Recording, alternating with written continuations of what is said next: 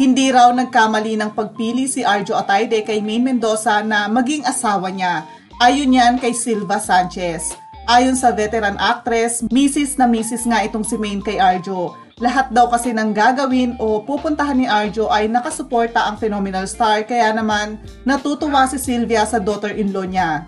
Chika nga ni Miss Sylvia sa isang ulat, quote, si Maine, asawa na niya, natutuwa na ako. Blessed na ako sama-sama sa kanya. Nakakatuwa kasi talagang si Maine, misis na misis kay Arjo. Talagang sobrang niyang suportahan si Arjo. Nandoon siya talaga. Talagang nakikita kong mabait siyang asawa.